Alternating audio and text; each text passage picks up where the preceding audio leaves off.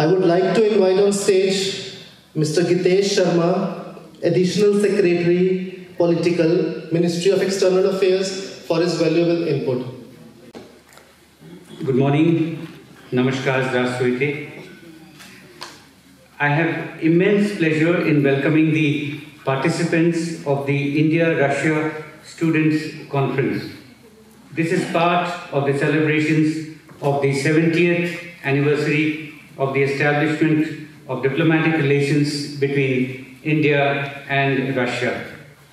It is part of the celebration of a friendship between two countries with few parallels in the world. To commemorate the 70th anniversary, both countries had agreed on a roadmap, and the majority of the events envisaged in the roadmap have been concluded. The focus of this event is education and brings together present and former Indian students who acquired and are acquiring their degrees from Russia. It brings together academic institutions of both countries and other organizations and agencies working for stronger ties in the field of education. Friends, partnership in education is an investment in the future of our relations. Spread of knowledge and increase in awareness has the greatest potential to strengthen bilateral ties. Indeed, investment in education is investment in the next generation. We have gathered today in New Delhi, but I'm happy that on the basis of internet and forms of advanced communication technology, from here we are almost simultaneously able to engage with colleagues and friends in other locations in India and in Russia. This is the world of today where information technology has changed in many ways the world we live in. It is a world where distance really does not matter. I have special pleasure in conveying our warmest greetings to friends who are joining in from Russia. Dobre Pazhalovat. In a world that is changing rapidly, Russia remains and will always remain an important foreign policy priority for India. India and Russia enjoy a close and comprehensive partnership. The special understanding at the highest levels between the leaders of our two countries provides us guidance as we strive to further strengthen our ties. And the annual summits provide the anchor for this relationship. Honorable Prime Minister Sri Narendra Modi has said, India-Russia relations have been the one constant in a world that has changed dramatically since 1947.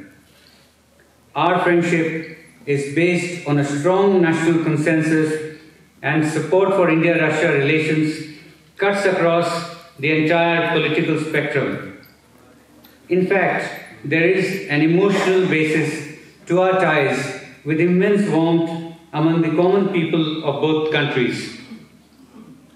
In 2000, our ties were elevated to that of strategic partnership and in 2010, this was further raised to special and privileged strategic partnership. There is practically no field in which both our countries do not cooperate and work together. Friends, as we celebrate the 70th anniversary, this year has seen an intensification of our relationship. We have had an unprecedented number of visits at the highest political level. Prime Minister Modi visited St. Petersburg for the St. Petersburg International Economic Forum 2017.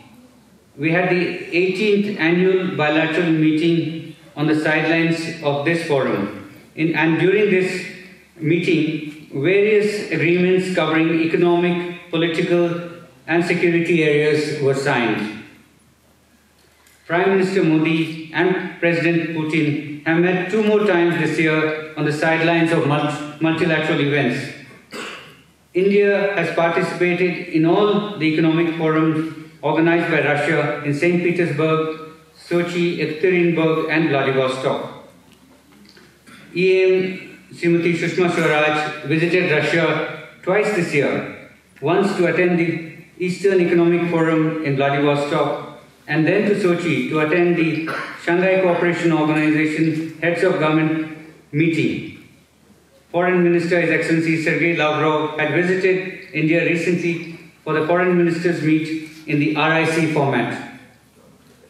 Dear colleagues, since independence, the then USSR had contributed towards India's economic, infrastructural, industrial, and defense development, and such cooperation extended to the educational field.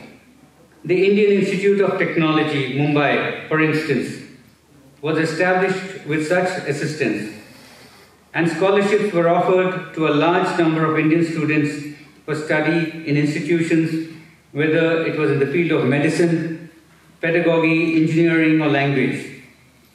Thousands benefited from such assistance. India benefited from such assistance. After the emergence of Russia in 1991, this model has undergone changes with reduction in the number of scholarships. But this has not stopped Indian students in opting for Russian for education in Russia. Educational institutions in India and Russia have impressive academic credentials, and students graduating from them are making a strong contribution towards national development. Today, there are nearly 6,500 students studying in various universities in Russia. Majority of them have chosen to pursue education in the field of medicine. They are spread out in different parts of Russia. Education cooperation, fortunately, is not restricted to students in universities alone. During the 18th annual summit, for instance, Rosneft signed an agreement for training of specialists in the field of oil. We welcome different forms of cooperation which have the capacity and potential to train specialists in India. One reason our partnership is so enduring because it is a two-way process. Educational institutions in India are churning out outstanding talents of global stature. Many of them are household names worldwide as innovators and managers. They are driving the best known companies of the world and making a huge contribution to uh, scientific research. We have seen an increase in the number of Russian students coming to Indian institutes for short-term and long-term courses that Government of India offers but there is scope for more. We look forward to receiving students from Russia in larger numbers in our educational institutions. Dear friends, we also look forward to establishing stronger linkages between our respective educational institutes on the basis of information technology, exchange of educational material, lectures, and other kinds of information is possible in this manner. I am happy that this conference brings together many who have studied in Russia and also those who have first-hand knowledge of educational institutions of both countries. There are differences with respect to the environment in which our respective universities and institutes operate. There are other challenges as well in terms of language, culture, and climate. Therefore, you have a special responsibility to generate ideas which may help in smoothing things and in spreading greater awareness of educational opportunities both in India and in Russia. My dear friends, this students' conference comes towards the end of 2017. We are only 13 days away from the new year. I would like to wish each one of you good health, happiness and success. नए साल के लिए शुभकामनाएँ। ये जलायु वाम शास्त्रीय क्रिप ज़रूर उस पे कप थैंक यू बलशोय स्पसीबा धन्यवाद।